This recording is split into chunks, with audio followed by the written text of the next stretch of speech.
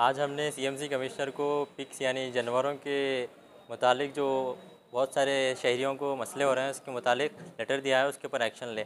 हम देख रहे हैं कि इंसान की जान को और माल को उनकी तरफ़ से हिफाजत नहीं है। परसों रिसेंटली एक केस हुआ, हम सुने कि एक बच्चे को जानवर काटने से उसको चौथा टाके पड़े और एक हमारे फ्रेंड का केस है कि उसके बच्चे गाड़ी लेके जा रहे थे। तो गिरने की वजह से वो नौबत यहाँ तक आ गई कि वो कुआँ में चले गए एक महीना और अभी भी उनकी हालत गंभीर है।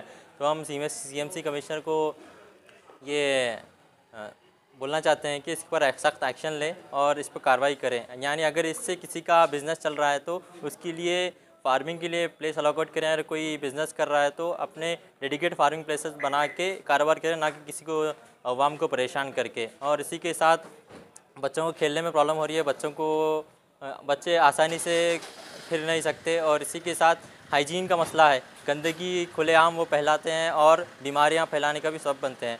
तो हमारे पास बहुत सारे मिसालें हैं, शहरों में हम देखते हैं कि ये चीज़ नहीं पाई जाती। तो वो वैसा प्लेटफॉर्म और वैसा मॉडल बस कल्याण में इम्प्लीमेंट किया सकता है। अगर सीएमसी एक्शन ले तो ये बस कल्याण में हो सकता है।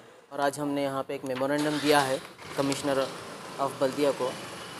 हमने उसमें रिक्वेस्ट की है कि जो शहर में पिग्स के जो इश्यूज़ हो रहे हैं, किसी की फ़सल बर्बाद हो रही है तो किसी के घर के मासूम बच्चे बीम का शिकार बन रहे हैं, या कोई बाइक राइडर्स उसकी जद में आकर ज़ख्मी हो रहे हैं। मैं बस आज इस मौके पे एक रिक्वेस्ट यहाँ से बल्दिया डिपार्टमेंट से ये करना चाहता हूँ। तीन चीज़ें होती हैं मॉरल लीगल और फाइनेंशियल मैं मॉरल लेवल पे ये रिक्वेस्ट करूँगा कि ये हमारे मोरालिटी है कि हम हमारे सिटी को पाक साफ़ रखें। किसी का, किसी की फ़सल बर्बाद हो रही है, जंगली सुअर फ़सलों को बर्बाद कर रहे हैं या मासूम बच्चों को शिकार कर रहे हैं। अगर